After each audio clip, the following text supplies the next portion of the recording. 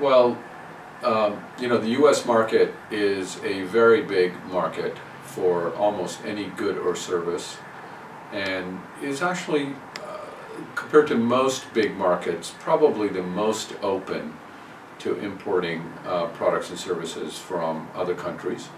And Spain, I think, has a great opportunity to enter this market, especially mid-market companies such as the ones that BIBA is targeting.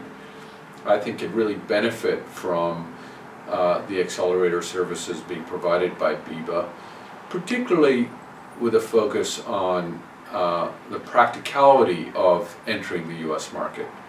So um, our first, you know, sort of event um, that we would invite these companies to come to, they're going to learn about what it's going to take to enter the U.S. market, customized to each one of them.